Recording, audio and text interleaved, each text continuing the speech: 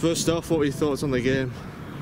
Uh, well, obviously, you know, semi-finals are, meant for winning, and they've obviously done that. Um, I was absolutely delighted with the attitude and the approach to the game, and the defence was good all the way through. Um, but yeah, you know, as I said, semi-finals for winning, and they've done that against a, a very good Leeds team. And a few weeks ago when we played the Rhinos, you said that it was arguably the best performance you've ever seen. Does that top it? Uh, no, I don't think so. Um, on that day, we was, you know, we lost players and we was down on numbers, and it was just the way the lads dug in. And obviously, it was away at Headingley.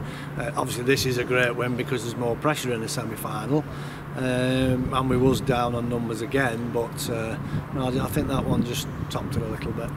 And now, obviously, it's the game you want to be involved in this season. How much are you looking forward to the grand final itself?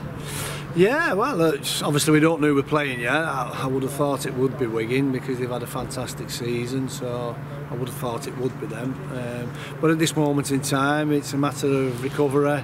Have a little look back at this, and then see when we're playing, where we're playing, who we're playing, and we'll start looking forward to that one once we know all those things. Do you expect any more players to be back for that game? Maybe one, uh, a push two. Uh, the big thing is we've picked no more injuries up today, so um, so yeah, we've got at least we've got these who's been out here tonight.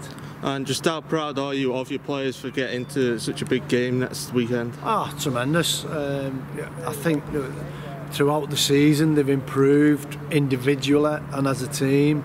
Um, you know, we got a heavy loss away at Wigan and I think that gave us a little bit of a lesson really and uh, woke us up a little bit and lads were honest and looked at themselves and they've worked really hard since then and improved, improved tremendously so I'm delighted that they get the chance to play the final game of the season and you know give it the best shot and see how we are we go from there.